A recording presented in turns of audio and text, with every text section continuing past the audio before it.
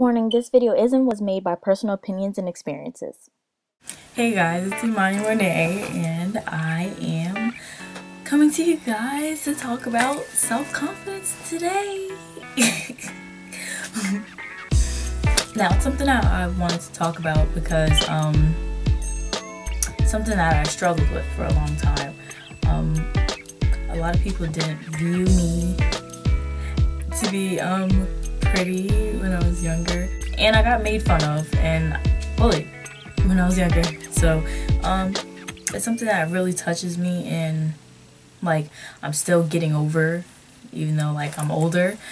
Like I was teased for so long and bullied for so long that I actually started to believe like what people were telling me about myself. And the reason why it's called self-confidence is because you have to feel a certain way about yourself.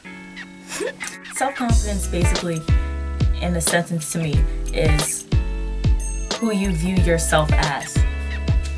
And I view myself as a pretty young lady who's going somewhere and that no one can tell me anything different because um I know where I'm going and I know about myself.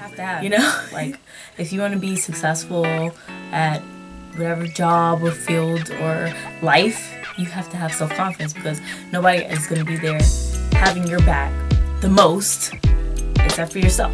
Because when your family isn't there, your friends, or whoever you talk to on a daily basis who always gives you words of wisdom is not there, and God. well, God's always there. but when no one else is there, you have to have it for yourself. And if you need to pray to God about that, then that's the area that you need to pray about and fast about. And you know, um, self confidence is called self confidence because you have to have it. No one's gonna have it for you. No matter, no matter what job or field you want to work in, you have to make sure that you have it because if you don't, then and in this world, it's a dog eat dog world. So when somebody tries to tear down your confidence, they do it so they can succeed in the end, or they can make themselves feel better. Honestly, um, and that has to do with who, how they see themselves in the mirror. I had a friend named Bob. no, I'm gonna just use Bob. Okay, I had a friend named Bob. Um, me and Bob been friends for like uh, like middle school, grammar school, then high school together. Um, Bob was always like tearing me down mentally. Uh, for example, we, we went out to a basketball game at my school, at my high school, um, and Bob didn't feel like getting dressed, I guess, um, nicely, and I pride myself in appearance. I like to look the best wherever I go, um, just because it's a personal thing. I just like to look nice. Who doesn't like to feel nice and look nice and stuff, you know? But, but Bob, I guess, didn't feel like doing that, and Bob told me not to look nice.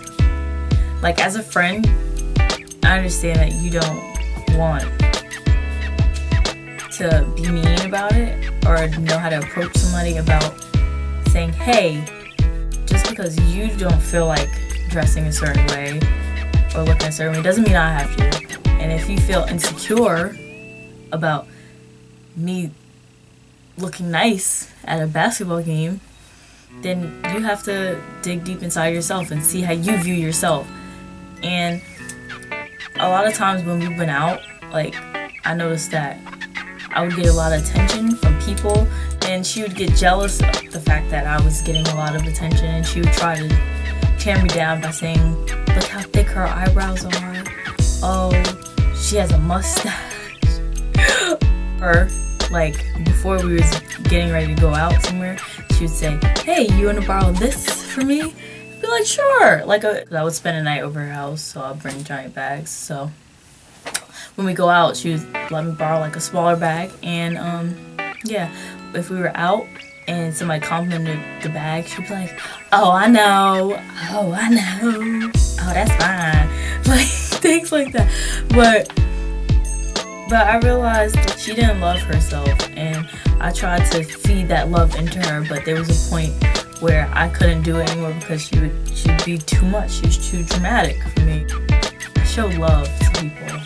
Like people may see me sometimes and think that I don't really like I'm not I'm not really social because I'm shy and people mislead that for being like Hollywood or something. But I'm really shy. So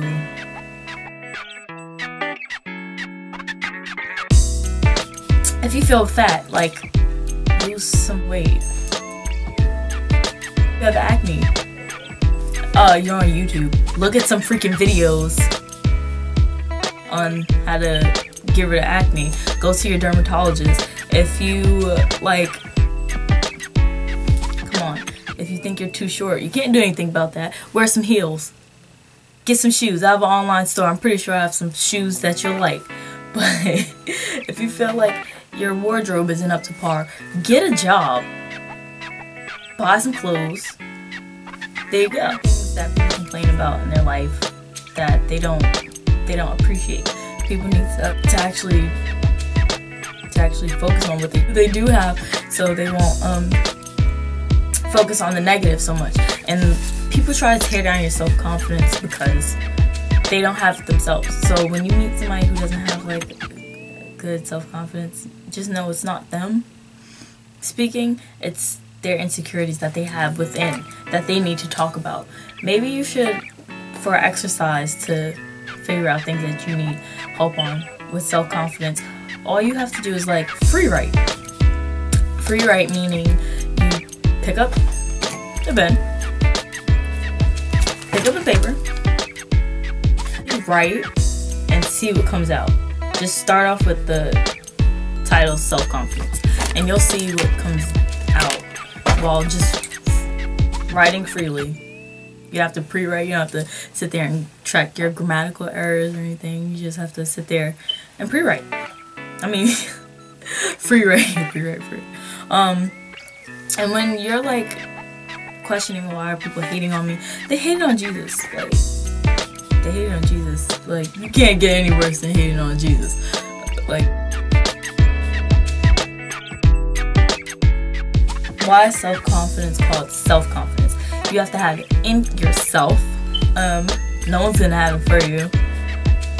The world is a dog-eat-dog world. But if you want to learn how to eat healthier or exercise, I'm pretty sure I'm going to be posting things that I do to maintain my weight and exercise daily because you need at least an hour of exercise every day. Um, if you have acne, go to your dermatologist.